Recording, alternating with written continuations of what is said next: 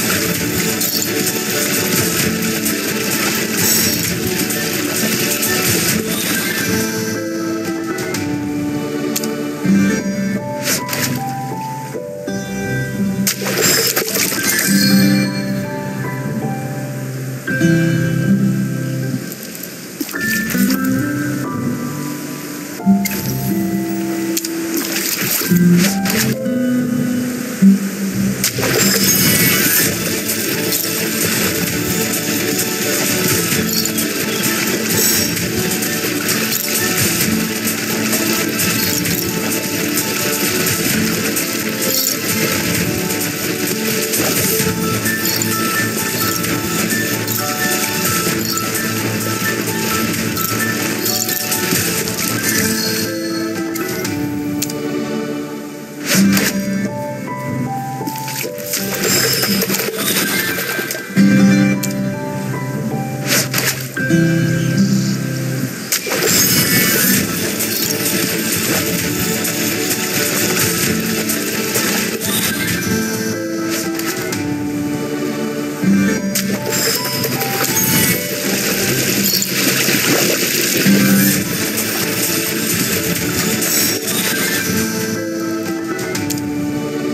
Jesus.